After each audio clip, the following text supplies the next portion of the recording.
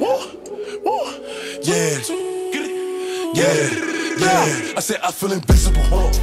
It's a hundred niggas in the spot. I won't keep going. It's 85 just to walk on. I don't talk to these niggas. Cause a lot of these niggas be corny.